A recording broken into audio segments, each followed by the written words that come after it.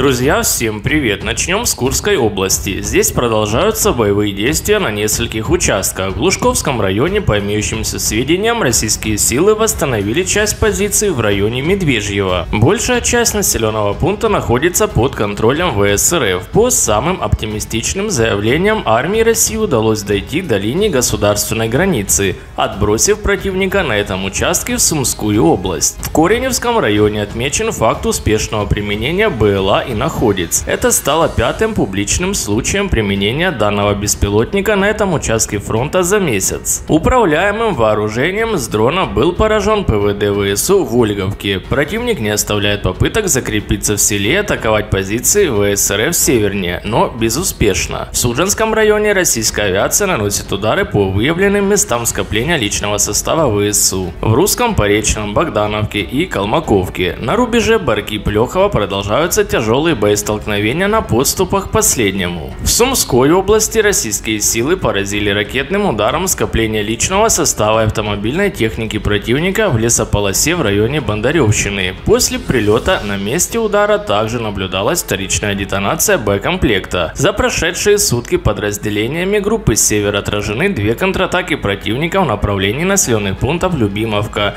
и Обуховка, а также предотвращены попытки противника контратаковать направление направлении Камышовки и Плехова. В результате уничтожено 4 боевые бронированные машины и автомобиль. 5 военнослужащих ВСУ сдались в плен. На Угледарском участке фронта, установив контроль над Угледаром, части ВСРФ, не задействованные в зачистке города, начали уверенное продвижение между Водяным и Екатериновкой. Есть продвижение в направлении Богоявленки и определенные тактические успехи к северу от Причистовки. К западу от Курахова не менее половины Островского под контроль контролем армии России. От него российские силы начинают пробиваться к дороге Максимiliановка-Курахова. В самой Максимiliановке ожесточенные бои. Возможно, что именно на юг пойдет наступление из Островского, чтобы в районе села Дальнее перерезать сообщение Курахова с Богоявленкой и начать маневр по охвату Курахова с юга. Отличные новости поступают с Покровского направления, где российские силы практически установили контроль над Сукурино, имеющий решающее значение для окружения городов Горняк и Селидов. Селидова. Противник удерживается на птицефабрике на западной окраине поселка. Атакуя с северных рубежей Цукурина, ВСРФ продолжают охватывать Селидова с юга, продвигаясь в направлении села Вишневое. Южнее Цукурина идут отчаянные боестолкновения в селе Измайловка, утрата которого обернется окружением Горняка и выходом ВС России на последнюю дорогу из этого города на Ильинку и Курахово.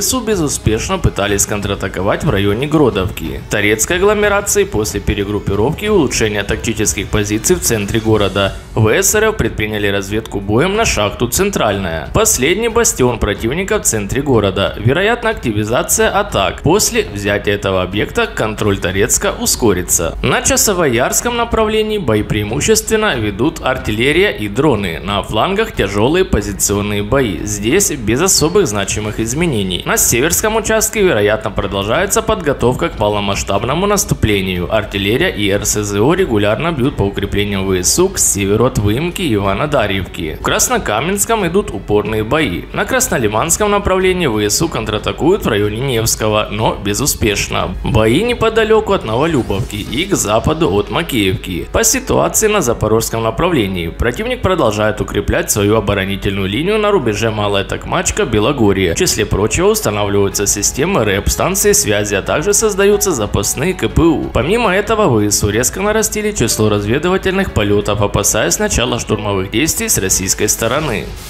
Экс-генсек НАТО Йенс Столтенберг дал интервью Financial Times, где заявил, что русская армия сильнее европейских войск и призвал Киев трезво смотреть на территориальные претензии. Йенс Столтенберг закончил свое десятилетнее президентство в НАТО и честно пообщался с Financial Times, где был более искренен, чем с трибуны Альянса. Экс-чиновник считает, что Киеву уже пора трезво смотреть на ситуацию и отказаться от территориальных претензий на границе 1991 года. Он привел в пример советско-финскую войну 39 2009 года, которая закончилась тем, что Хельсинки отказались от 10% земли. Столтенберг считает, что ближайший переговорный импульс будет только после выборов в США. Экс-генсек НАТО также высказался о противостоянии военных мощностей России и Европы. По его словам, у европейских членов Альянса слишком мало оружия, потенциала и войск высокой степени готовности. В интервью Financial Times он прямо признал, что НАТО отстает от русских. Нынешние военные расходы НАТО на уровне 2% ВВП от страны-участницы. Недостаточно для установления военного паритета. Нужно гораздо больше, чем 2,5% и даже 3%. По его словам, в Москве знают о фактическом положении вещей.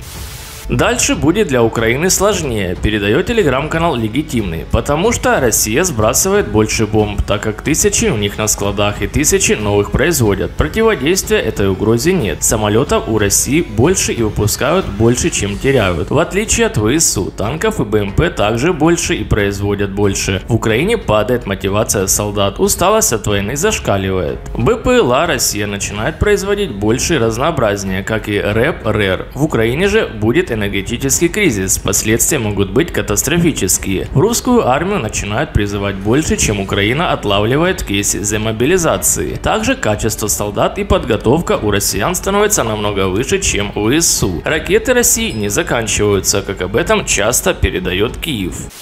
Дозвониться не смог даже генсек НАТО. Столтенберг рассказал, как Зеленский спрятался в бункере от русских. Йенс Столтенберг наконец перестал возглавлять НАТО. На новую работу пока не устроился, а потому коротает время за разговорами. Вот недавно рассказал журналистам, как Владимир Зеленский прятался в бункере от русских. Так хорошо спрятался, что даже генсек НАТО ему дозвониться не смог. Йенс Столтенберг мог занять главный политический пост в Норвегии, если бы там решили ликвидировать ликвидировать монархию. Но ни в президенты, ни в наследные принцы бывший генсек НАТО не метит. Рассчитывает заниматься, в кавычках, обычной работой. Что под этим подразумевается, непонятно, ведь много-много лет подряд обычной работой Йенса было подливание масла в огонь разожженных Западом конфликтов. В интервью, данным The Financial Times, 65-летний Столтенберг рассказал много интересного. Как легко догадаться, разговор шел в основном об украинском конфликте. Экс-генсек не упустил возможность возможности в очередной раз очернить Россию и демонизировать ее лидера Владимира Путина. Дать больше оружия. Йен Столтенберг признался в том, о чем он больше всего сожалеет. Он должен был настаивать, чтобы предоставить Киеву еще большую военную поддержку до 2022 года. Я думаю, мы все должны признать, что нам следовало бы дать им больше оружия до вторжения. И нам следовало бы им дать более современное оружие быстрее после вторжения, произнес политик, но всю ответственность за эту ошибку брать на себя отказался, согласился взять лишь часть. Он добавил, что проделанной им работой гордится, а именно тем, что удалось усложнить России жизнь. Он называет нашу страну непредсказуемой и опасной, а ее политику видит как враждебные действия. Столтенберг не скрывает, настаивал на пересечении всех красных линий, которые установил Владимир Путин. Когда Владимир Путин объявил о начале спецоперации, НАТО предупредило, что Киев сможет продержаться максимум несколько дней. Но ему удалось выстоять. Столтенберг провел аналогию с подбрасыванием монеты, намекая на то, что произошедшее – случайность. О том, что украинская столица не была взята из-за отступления русских войск, согласно договоренностям Москвы и Киева, бывший генсек Североатлантического альянса не упомянул. Зато рассказал, как президент Украины Владимир Зеленский, на тот момент легитимный, прятался от русских в бункере. Когда бывший комик был неопытным политиком и задавал Столтенбергу самые элементарные вопросы, когда начала началась спецоперация, Зеленский скрылся в защищенной зоне. Пока Зеленский скрывался от вторжения России в бункерах и избегал российских ликвидаторов, Столтенберг не мог поговорить с ним в течение двух дней. Когда они наконец поговорили, этот телефонный звонок был довольно трудным. Частично, вспоминая Столтенберг, это был страх, что Зеленского скоро поймают или ликвидируют, говорится в статье Financial Times. Впрочем, в основном тот телефонный разговор был о бесполетной зоне над Украиной. Такое Столтенберг предоставляет опять отказался, несмотря на мольбы Зеленского.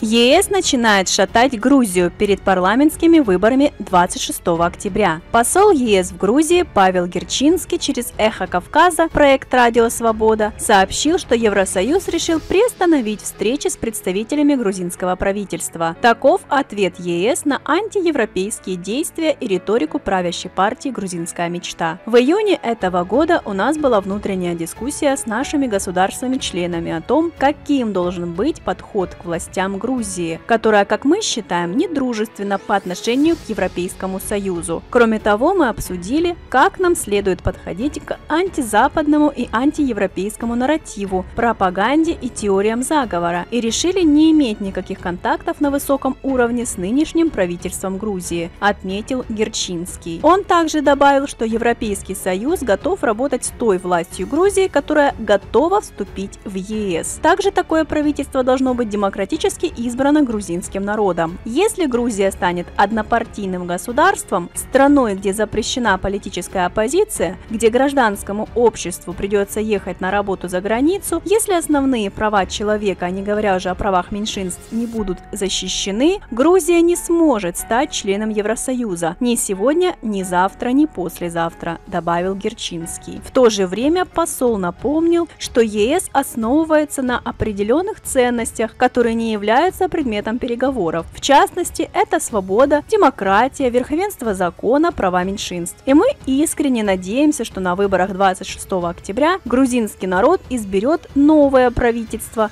которое будет верно этим ценностям, сказал Герчинский, призвал граждан Грузии к активному участию в предстоящих выборах. Если вы внимательно прослушали все, что сказал посол ЕС, то узнали шаблонные заявления для расшатывания страны по методичкам Сороса по итогам любых выборов. Майдана в Грузии точно не избежать. А теперь наша очередь. Россия вправе забрать у Финляндии территории. Наши соседи любят антирусские игры, и как показывает практика, почти никогда это ничем хорошим не заканчивается. Пока Москву забрасывают санкциями, наши эксперты решили преподать недругам урок истории. Россия вправе забрать у Финляндии территории. Теперь наша очередь качать права. На кону Саймонский канал и Аланские острова. Алексей Мухин, политолог, в беседе с Царьградом прокомментировал неоднозначную ситуацию с Финляндией. Он отметил, что потеря нейтрального статуса этой страны открывает возможности для России пересмотреть ряд соглашений, которые касаются территориальных уступок. Ведь ранее уступки были сделаны нами в обмен на закрепление нейтрального статуса Финляндии. Информация о наших притязаниях, безусловно, требует более внимательного изучения. Мухин уточнил, что что речь идет не о больших территориях, а о некоторых незначительных уступках, которые тем не менее могут быть особенно неприятны для Финляндии. В частности, он упомянул несколько островов и другие мелкие территории. Острова некоторые и так далее. Там есть вещи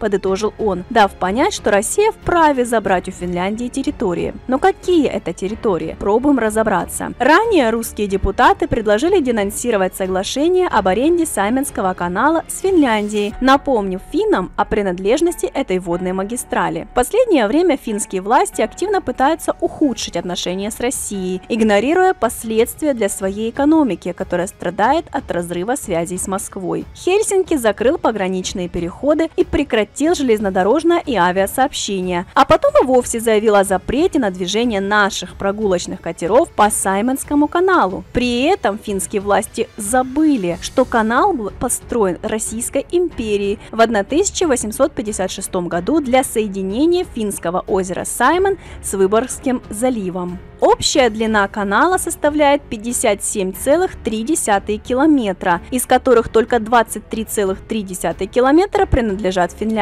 Остальную часть страна арендует у России с 1960-х годов, и действующий договор аренды, который был подписан на выгодных условиях для финнов, продлится до 2063 года. Аренда не имеет фиксированной платы и состоит из постоянной суммы и переменной, зависящей от качества навигации. По разным оценкам, Финляндия ежегодно выплачивала не менее миллиона долларов. Несмотря на то, что договор аренды продолжает действовать, Россия и правда изучает запускает процесс денонсации старых советских соглашений, которые стали невыгодны. Если же Россия все же пойдет на денонсацию договора по каналу, то Финляндии ждут серьезные проблемы. У нас-то имеется Выборгский залив, через который мы легко попадаем в Балтику, так что мы прекрасно проживем без Саминского канала, а вот финны вряд ли. Еще один урок истории. Финны оступились, но где? Если ситуация станет действительно серьезной, то финны рискуют потерять не только Саминский канал. На кону также автономные Аландские острова.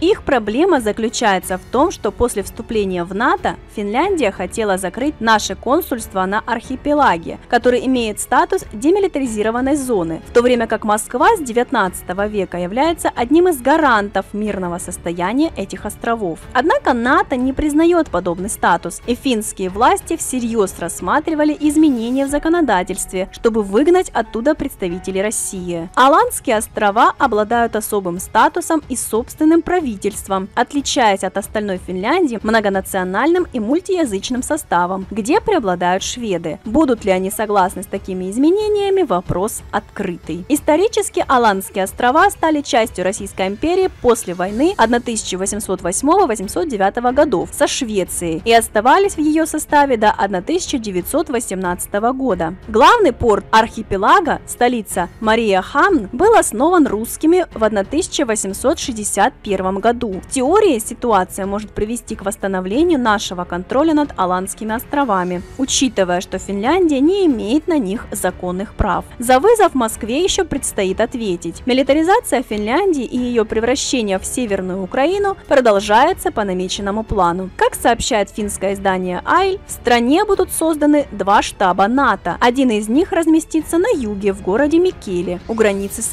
Россией и будет отвечать за сухопутные силы Альянса в Северной Европе. Второй штаб передовых сухопутных сил планируется разместить на севере, либо в Раваниями, либо в общине Саданкюля. Финны предоставили американцам все свои базы и все военные объекты. При таком раскладе над Россией нависнет большая угроза. Радикальным решением данной ситуации могло бы стать применение ядерного удара по Финляндии. Но пока об этом рано говорить, ведь мы можем надавить, напомним об исторически наших территориях. Всем спасибо за внимание, друзья. Подписывайтесь на наш канал, чтобы ничего не пропустить. Будьте здоровыми и счастливыми. Всем нам мира и добра.